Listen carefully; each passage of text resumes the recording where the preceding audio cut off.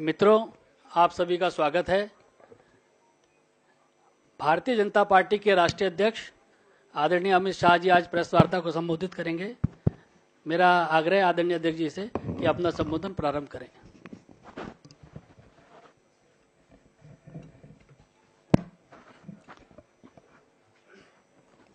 मित्रों, आप सभी का स्वागत है। आप सभी को आज यहाँ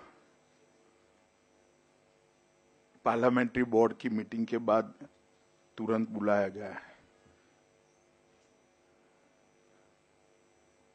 देश के राष्ट्रपति का चुनाव होना है। लोकतंत्र की यह सर्वोच्च जगह के लिए भारतीय जनता पार्टी और एनडीए ने काफ़ी समय से सभी दलों से चर्चा विचार चालू किया था और जिस प्रकार से फीडबैक मिले और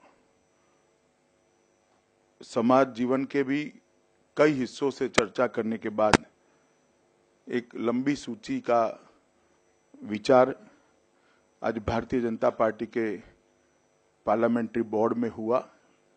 और अंत में राष्ट्रपति पद के चुनाव में एनडीए के प्रत्याशी के रूप में आज श्री रामनाथ कोविंद गवर्नर बिहार का नाम तय किया गया है और मैं रामनाथ जी का परिचय भी आपको देना चाहूँगा। रामनाथ जी हमारे बहुत पुराने भारतीय जनता पार्टी के वरिष्ठ नेता रहे। अभी वो गवर्नर बिहार हैं। उत्तर प्रदेश के कानपुर देहात जिला के परोख गाँव के मूल निवासी है।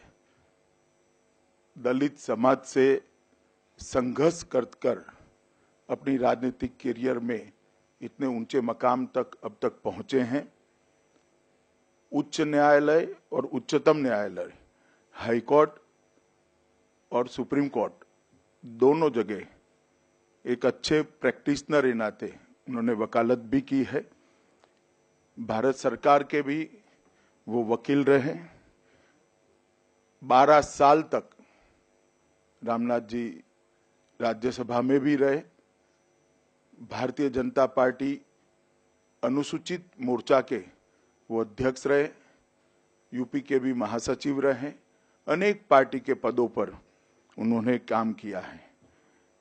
संसद की अनेक समितियों में उनका महत्वपूर्ण योगदान रहा है।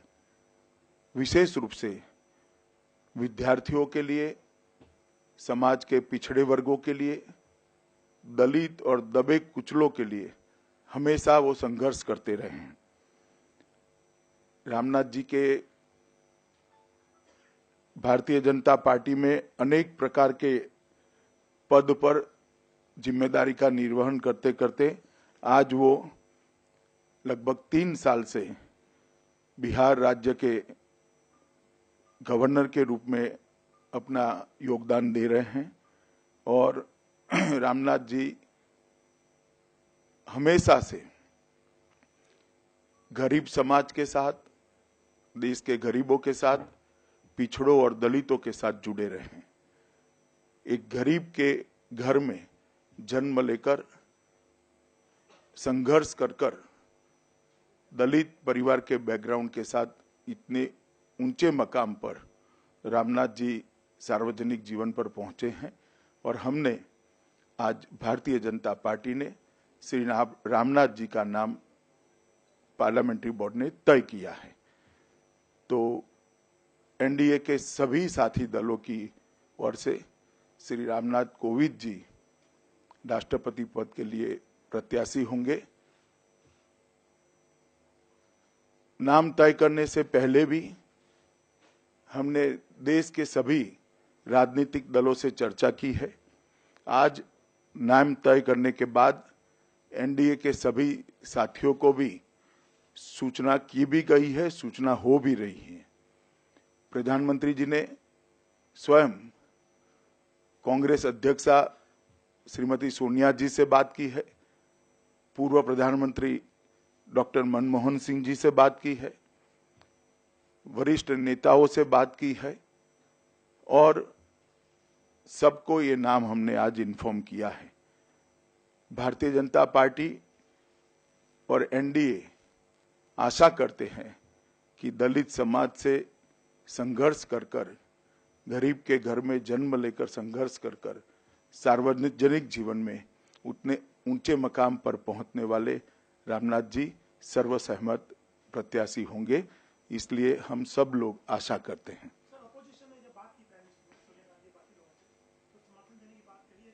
अभी तो हमने इन्फॉर्म किया है, वो अपनी पार्टी के साथ चर्चा कर कर आगे बताएँगे। नामांकन की तिथि तिथि तो रामनाथ जी से चर्चा कर कर तय करेंगे, मगर बड़ी बड़ी जो अभी सोच बनी है, तेईस तारीख को नामांकन होने की संभावना है।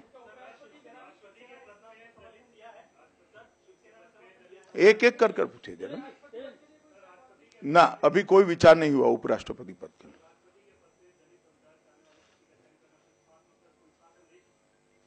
संदेश तो मैंने दे दिया जो देना है अब आप निकालते रहिए। अभी हमने इन्फॉर्म किया है। सुके जी।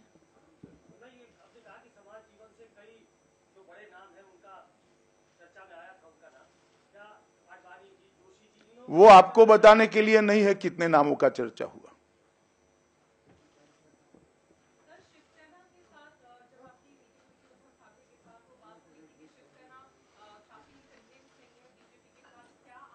नहीं ऐसी बात नहीं हुई थी उद्धव ठाकरे जी। उन्होंने कहा था कि आप पहले नाम तय करके बताइए आज उनको नाम बता दिया गया है।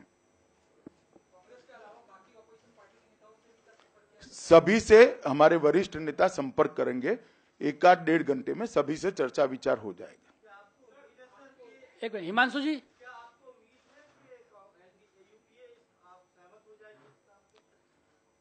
हमने तो बहुत आशा के साथ फ़ोन किया है। है? मुझे लगता है बाय एंड सभी लोग सहमत है। एक मिनट। ये आपको मैं बता नहीं सकता भैया।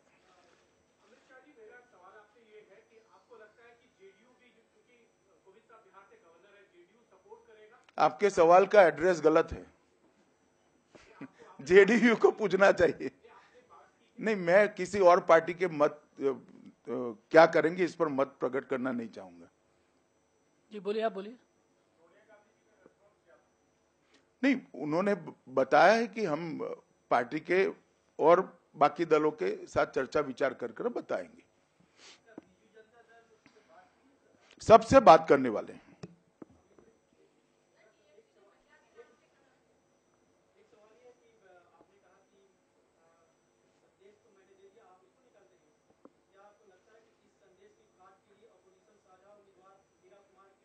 मैं तो आशा करता हूँ कि सभी लोग सर्वसहमति करेंगे।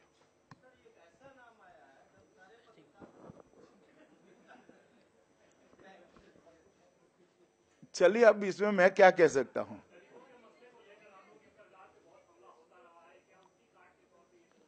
नहीं, ऐसा कोई हमला नहीं हो रहा है भैया। ऐसा कोई हमला नहीं हो रहा है। मैं इससे सहमत नहीं चलिए धन्यवाद। अब ज़्यादा सवाल पूछने का इसमें बनता नहीं है।